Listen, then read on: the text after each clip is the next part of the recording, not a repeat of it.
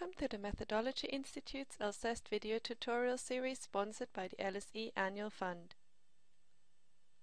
In this tutorial we will show you how to run an analysis in Alceste.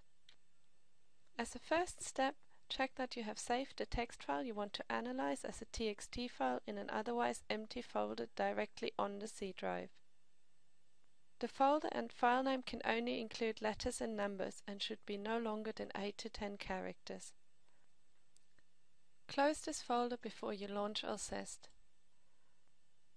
Then open the Alceste program. You will notice that the menu is in French. Don't worry if you don't speak French, the software is still easy to use and will take you through the steps. To start the analysis, click Plan d'analyse and select Nouveau, which means new.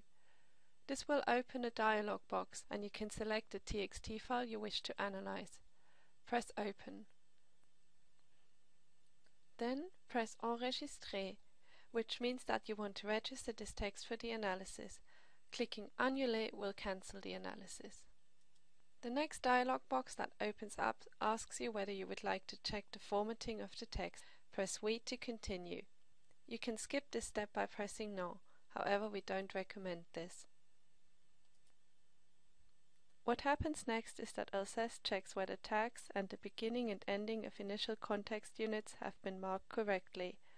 Note that it won't notice if there are dollar or star signs within the body of the text. These would cause the analysis to terminate, so you need to remove or replace them at the text preparation stage. We'll now show you how to correct the errors.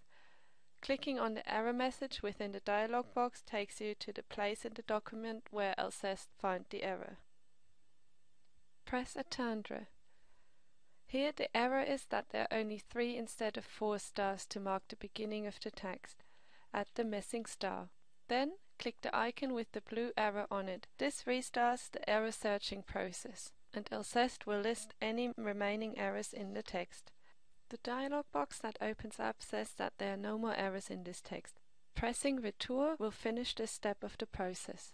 This brings up a new dialog box which asks whether you would like to save the changes. Press Yes.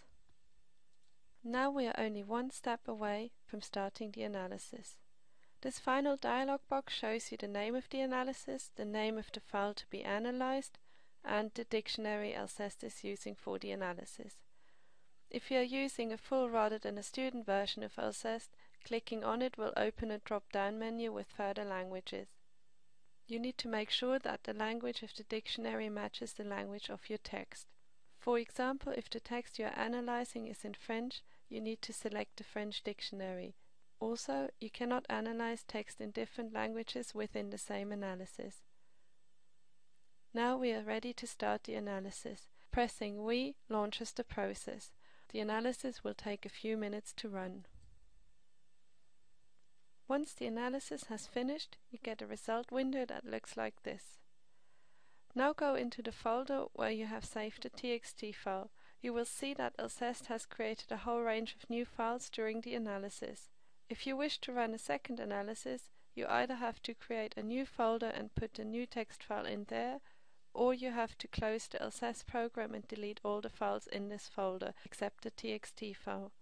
Alceste will be unable to run a new analysis otherwise.